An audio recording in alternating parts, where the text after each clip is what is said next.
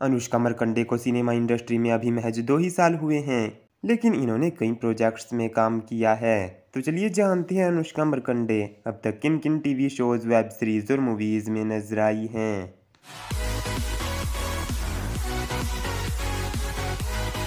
अनुष्का मरकंडे ने अपने television career की शुरुआत 2021 में किए सबसे पहले स्टार भारत के शो, लक्ष्मी घर आई में आरती तिवारी का रोल करती दिखाई दी। इसके बाद इन्होंने स्टार प्लस के शो, चीकू की मम्मी दूर की में मिनी जोशी का रोल किया। स्टार प्लस के show Banni Chow home delivery में ये पलक राठौड़ का रोल करती दिखाई दी।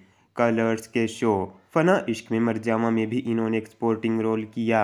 जी टीवी के शो, मैं हूँ अपराजिता में इन्होंने छवि सिंह का रोल किया है, जिसमें कि एक मुख्य भूमिका में नज़र आती हैं। अनुष्का मरकंडे की वेब सीरीज़ है बॉम्बे बेगम्स, जिसमें कि इन्होंने रिया चटर्जी का रोल किया था।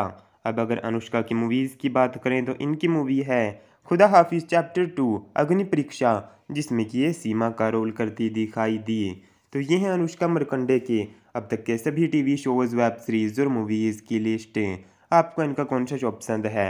हमें बताइए नीचे कमेंट सेक्शन में स्टूडियो को लाइक कीजिए और चैनल को सब्सक्राइब कीजिए।